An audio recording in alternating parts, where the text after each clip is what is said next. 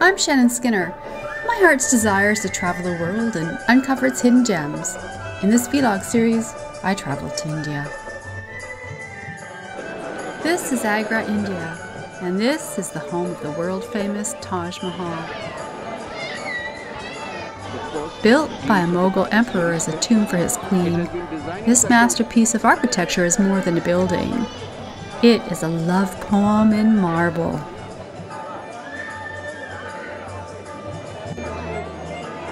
Walking around its complex and lovely sprawling gardens, I soak it all in. When this truck broke down, I offered my assistance, but apparently they didn't need me.